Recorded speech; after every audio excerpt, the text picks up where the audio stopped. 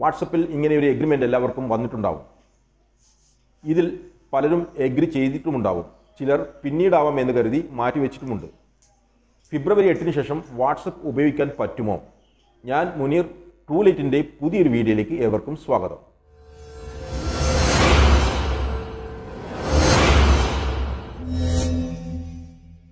ഇതിനകം എല്ലാവരും അറിഞ്ഞു കാണും നമ്മുടെ ഫോണിലുള്ള ഡാറ്റകൾ വാട്സപ്പിന്റെ ഉടമകളായ ഫേസ്ബുക്ക് അവർക്ക് ഇഷ്ടമുള്ള കമ്പനികൾക്ക് കൈമാറുന്നത് പരസ്യമായി ചോദിക്കുന്നതാണ് പുതിയ എഗ്രിമെന്റ് നമ്മുടെ കോണ്ടാക്ട്സ് ലൊക്കേഷൻ ഏതൊക്കെ വാട്സപ്പ് ഗ്രൂപ്പിൽ അംഗമാണ് നമ്മൾ ഉപയോഗിക്കുന്ന phone sim card I P address അതുപോലെ ഏതൊക്കെ വെബ്സൈറ്റുകൾ വാട്സപ്പ് വഴി ഉപയോഗിക്കുന്നു വാട്സപ്പുമായി ബന്ധപ്പെട്ട ഏതൊക്കെ ബിസിനസ് അക്കൗണ്ടുകളുമായി കമ്മ്യൂണിക്കേഷൻ നടത്തുന്നു തുടങ്ങി വാട്സപ്പുമായി ബന്ധപ്പെട്ട നമ്മുടെ തൊണ്ണൂറ് ശതമാനം സ്വകാര്യതകളും അവർക്ക് കൈമാറാം. വിൽക്കാം അതിന് അനുവാദം ചോദിച്ചുകൊണ്ടുള്ളതാണ് ഈ എഗ്രിമെന്റ് ഇനി ഈ വിവരങ്ങൾ അവർ ദുരുപയോഗം ചെയ്യുമോ എന്ന കാര്യത്തിൽ ആർക്കും ഒരു ഉറപ്പും പറയാൻ പറ്റില്ല.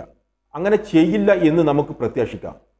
പിന്നെ എന്തിനു വേണ്ടിയാണ് ഇവർ ഇത് ഉപയോഗപ്പെടുത്തുക എന്നതിന് ഒരു എക്സാമ്പിൾ പറഞ്ഞു തരാം. നമ്മൾ വാട്സപ്പിൽ നിന്നും എന്തെങ്കിലും ഒരു പ്രൊഡക്റ്റിനെ കുറിച്ച് എൻക്വയറി നടത്തുകയോ മെസ്സേജ് കൈമാറുകയോ ചെയ്താൽ ഒരു പക്ഷേ അതൊരു മൊബൈൽ ഫോണാകാം അപ്പോൾ നമ്മൾ വാങ്ങാൻ ഉദ്ദേശിക്കുന്ന മൊബൈൽ ഫോൺ ഏതാണെന്നുള്ള വിവരം ഇവർ അതുമായി ബന്ധപ്പെട്ട സൈറ്റുകൾക്ക് കൈമാറും. വിവരങ്ങൾ സൈറ്റുകൾക്ക് കൈമാറിയത് പ്രകാരം നമ്മളെ തന്നെ അത്ഭുതപ്പെടുത്തിക്കൊണ്ട് നമ്മൾ അന്വേഷിച്ചിരുന്ന മൊബൈൽ ഫോണിന്റെ പരസ്യങ്ങൾ നമ്മുടെ മുന്നിലെത്തും. അത് ഫേസ്ബുക്കിലും ഇൻസ്റ്റാഗ്രാമിൽ വരെ കാണാം. അതിനിടയിൽ ഒരു കാര്യം പറയുന്നു. ഈ അപ്ഡേറ്റ് വന്നാൽ നമ്മുടെ വാട്സപ്പിലും പരസ്യങ്ങൾ വരാനുള്ള സാധ്യത വളരെ കൂടുതലാണ്. നമ്മുടെ താല്പര്യങ്ങൾ മനസ്സിലാക്കിയായിരിക്കും പരസ്യങ്ങൾ വരുന്നത്. നമ്മൾ ഒരു സെലിബ്രിറ്റിയോ രാഷ്ട്രീയ നേതാവോ അല്ലെങ്കിൽ പിന്നെ എന്തിന് പേടിക്കണം? എന്ന് വാദിക്കുന്നവരുണ്ട്. പക്ഷേ ഇത് ദുരുപയോഗം ചെയ്യപ്പെട്ടാൽ ആർക്കായാലും പണി കിട്ടും. വ്യക്തിയുടെ സ്വകാര്യ വിവരങ്ങൾ കൈമാറുന്നത് തടയാൻ ഇന്ത്യയിൽ ഇപ്പോൾ നിയമമില്ല.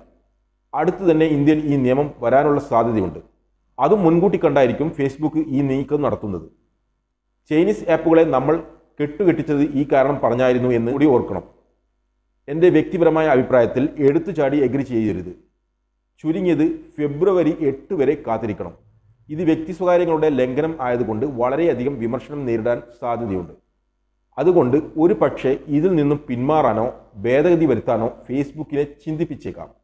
ഇനി ഫെബ്രുവരി എട്ടിന് ശേഷവും നമ്മൾ എഗ്രി ചെയ്തില്ലെങ്കിൽ ഇപ്പോഴുള്ള വാർത്തകളുടെ അടിസ്ഥാനത്തിൽ നമ്മൾക്ക് വാട്സപ്പ് ഉപയോഗിക്കാൻ കഴിയില്ല. അങ്ങനെയാണെങ്കിൽ നമുക്കിത് വേണ്ടെന്ന് വെക്കാം. അങ്ങനെ വാട്സപ്പിൽ അൺഇൻസ്റ്റാൾ ചെയ്യുന്നതിന് മുമ്പ് വാട്സപ്പിലെ ഡിലീറ്റ് മൈ അക്കൗണ്ട് എന്ന ഓപ്ഷൻ ഉപയോഗിച്ച് വാട്സപ്പ് അക്കൗണ്ട് ഇല്ലാതാക്കി മാത്രമേ അൺഇൻസ്റ്റാൾ ചെയ്യാവൂ. ഇങ്ങനെ വാട്സപ്പ് വേണ്ടെന്ന് വെക്കുന്നവർക്ക് ടെലഗ്രാം പോലുള്ള ആപ്പുകൾ ഡൗൺലോഡ് ചെയ്യാവുന്നതാണ്. ഒരു പക്ഷേ വാട്സപ്പിലെ ഈ നയം ടെലിഗ്രാം ആപ്പിൽ യൂസേഴ്സ് കൂടാൻ ഒരു കാരണമായേക്കാം. ഫെബ്രുവരി എട്ടിന് ശേഷം എഗ്രി ചെയ്തില്ലെങ്കിൽ ഇത് ഉപയോഗിക്കാൻ പറ്റില്ല എന്ന് പറഞ്ഞല്ലോ. അങ്ങനെ ഉപയോഗിക്കാതെ വെച്ചാൽ നമ്മൾക്ക് വരുന്ന മെസ്സേജുകൾ ഒരു മാസം വരെ വാട്സപ്പിലെ സെർവറുകളിൽ സൂക്ഷിക്കപ്പെടും. ഒരു മാസം കഴിഞ്ഞാൽ മെസ്സേജുകൾ കിട്ടില്ലെന്ന് മാത്രമല്ല നിലവിലുള്ള വാട്സപ്പ് ഉപയോഗിക്കാൻ കഴിഞ്ഞില്ല എന്നും വരാം. ഏതായാലും വാട്സപ്പ് ഇതിൽ നിന്ന് പിന്മാറുമെന്ന് തന്നെ പ്രതീക്ഷിക്കാം. ഈ ഇൻഫർമേഷൻ എല്ലാവർക്കും ഷെയർ ചെയ്യുക അതുപോലെ ലൈക്ക് ചെയ്യാനും മറക്കരുത്. ഈ ചാനൽ ആദ്യമായി കാണുന്നവർ സബ്സ്ക്രൈബ് ചെയ്യണേ. അടുത്തൊരു വീഡിയോ കാണുന്നതുവരെ ഗുഡ് ബൈ